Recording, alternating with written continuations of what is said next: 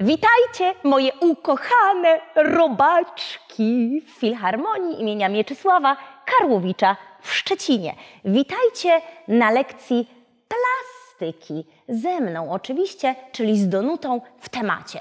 A dziś w jakim temacie? Plastyka. Czy da się namalować dźwięk? Zanim odpowiemy Wam na to pytanie, zrobię to, co zwykle na początku lekcji. Sprawdzę obecność. Ekipa techniczna? Obecna. Publiczność?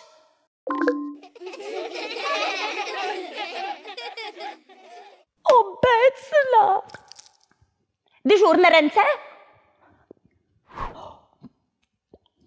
Obecne. Muzycy Orkiestry Symfonicznej Filharmonii w Szczecinie. Ha! Zanim jednak zobaczycie, kto dzisiaj dla nas zagra, zaprezentujemy Wam dźwięki naszych instrumentów. Ale to nie wszystko. Po raz pierwszy w historii Filharmonii zobaczycie na ekranie wizualizację tych dźwięków. Gotowi? Zaczynamy. Dźwięki instrumentu numer jeden.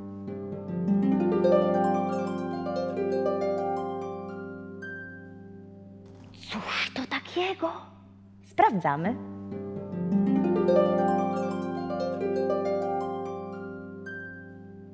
Oto harfa.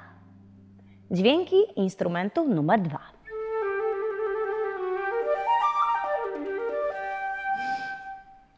Jak myślicie, co to jest? Sprawdzamy.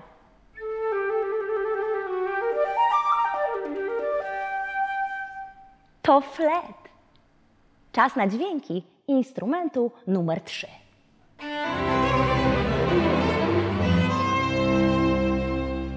Tu jest chyba więcej niż jeden instrument. Sprawdzamy, co to takiego.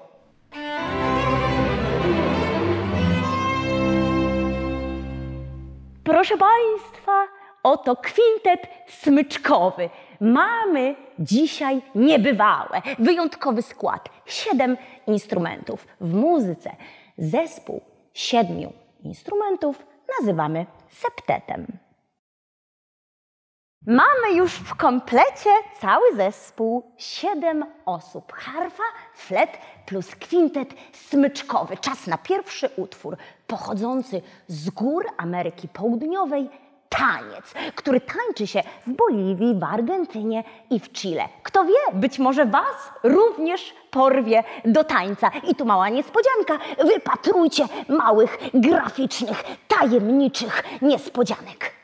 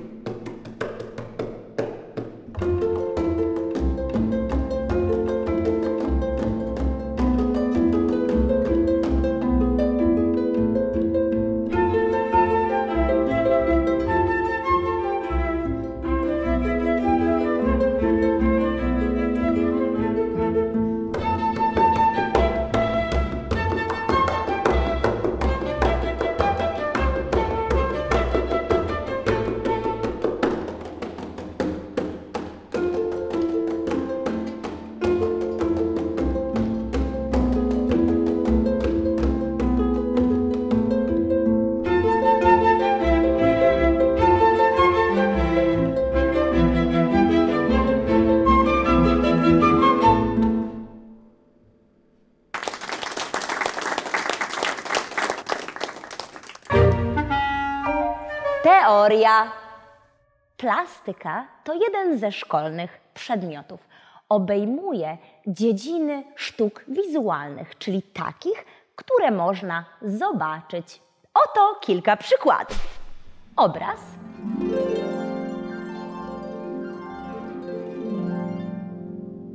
Rzeźba.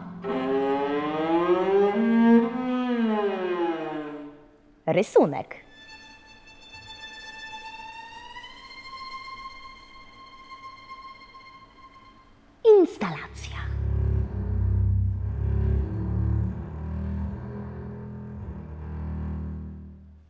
Grafika.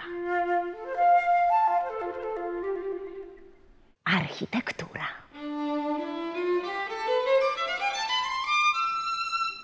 Fotografia.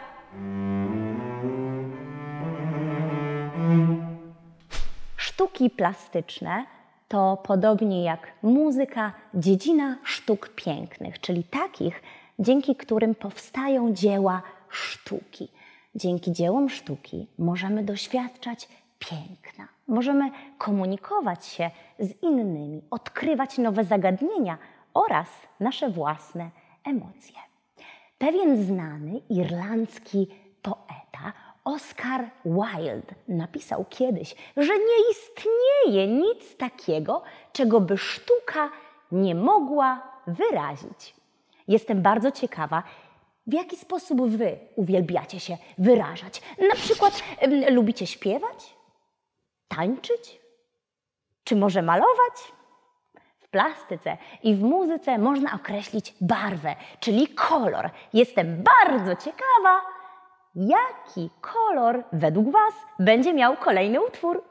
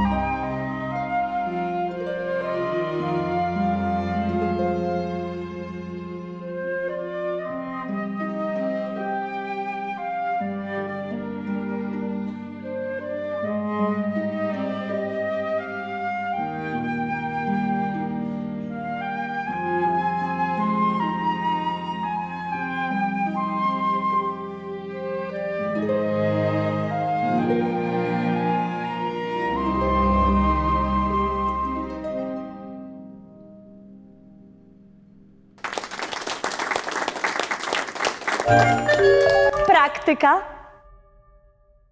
Bycie artystą to nie lada wyzwanie. Oprócz wrażliwości artystycznej i podatności na różnego rodzaju inspiracje, twórcy tacy jak kompozytorzy albo artyści plastycy muszą posiadać tak zwany fach w ręku, czyli umiejętność stworzenia dzieła. W jaki sposób nabywać umiejętności tworzenia dzieł plastycznych? Oto kilka rad. Do rysowania i malowania używaj różnych narzędzi, kredek świecowych, ołówkowych, pasteli, akwareli i innych, dzięki czemu może odkryjesz swoją ulubioną technikę. Możesz wykonać własną pieczątkę z ziemniaka, z korka czy nawet z własnej dłoni. Taki stempel, taka pieczątka może kiedyś będzie Twoim znakiem rozpoznawczym. Jeśli lubisz pobrudzić ręce, modeluj w glinie albo w plastellinie. Kto wie, być może uda ci się stworzyć jakąś niepowtarzalną, ponadczasową wazę. Możesz wydzierać, wycinać i składać papier. Tak zwana sztuka składania papieru, czyli origami, zamienia papier w istne cudeńka. Spróbuj wykonać dzieło plastyczne z elementów środowiska naturalnego, z szyszek, gałęzi lub śniegu. W końcu nic tak nie inspiruje artysty jak natura. Staraj się dostrzegać w otoczeniu charakterystyczne cechy, które będziesz mógł przenieść na swoje artystyczne dzieło. Dzięki temu odbiorcy będą mogli oglądać to dzieło Twoimi oczami. Komunikuj się z innymi za pomocą obrazków. Czasem o wiele łatwiej jest coś narysować niż powiedzieć. Czas na muzykę w najlepszym wydaniu. Zapraszam Państwa do wysłuchania utworu Jana Sebastiana baja.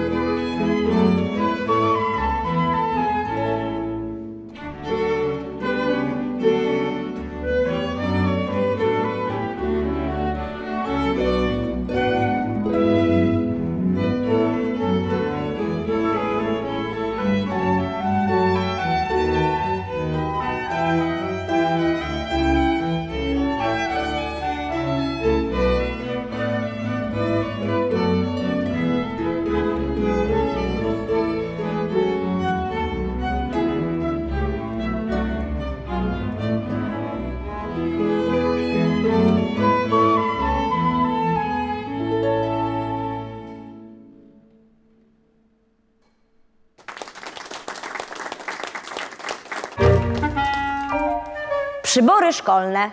W dzisiejszej filharmonijnej lekcji plastyki w naszym piórniku mamy do dyspozycji aż siedem instrumentów. Sześć z nich pochodzi z grupy instrumentów strunowych. Natomiast jeden, jedyny instrument pochodzi z grupy instrumentów dętych drewnianych, czyli flet. Za chwilę usłyszycie każdy instrument z osobna. Ale to nie wszystko. Ja będę nanosić te dźwięki na moją kartkę. Ciekawa jestem, jakie z tego dzieło powstanie. Zobaczymy.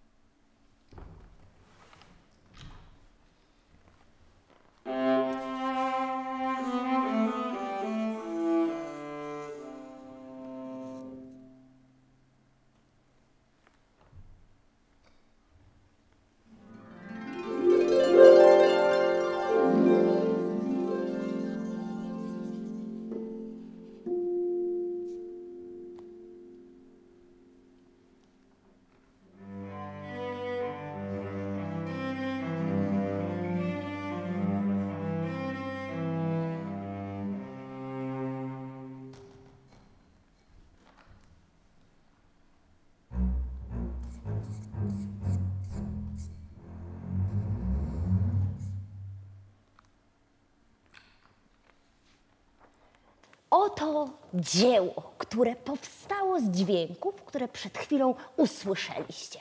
Zapraszam na mój wernisaż oraz zapraszam na kolejny utwór Henry Mancini. Do usłyszenia.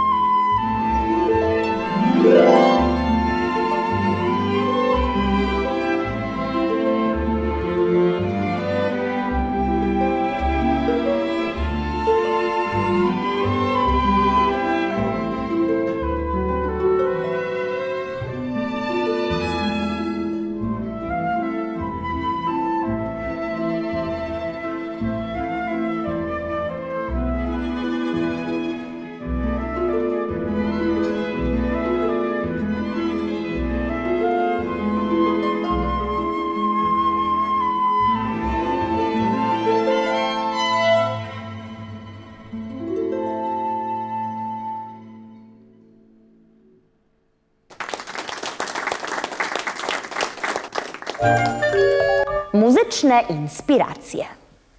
Każde dzieło ma swój początek w inspiracji jego autora. Ale skąd autorzy i twórcy czerpią inspirację? Hmm, absolutnie, absolutnie ze wszystkiego.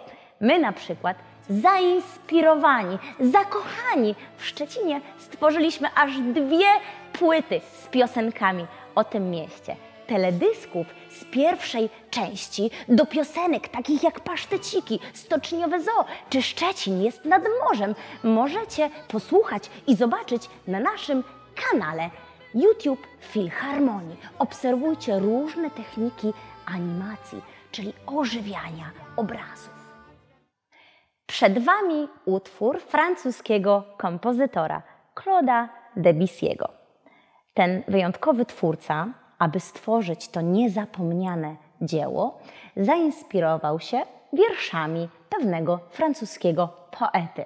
Z kolei ten poeta, żeby napisać swoje wiersze, oglądał wspaniałe, wyjątkowe obrazy francuskiego malarza. Także inspiracja to niekończący się łańcuch. Światło księżyca Claude'a Debussy'ego było wielokrotnie wykorzystywane w filmach, na przykład w filmach Disneya.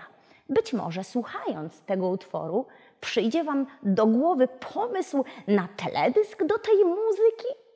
Zapraszam.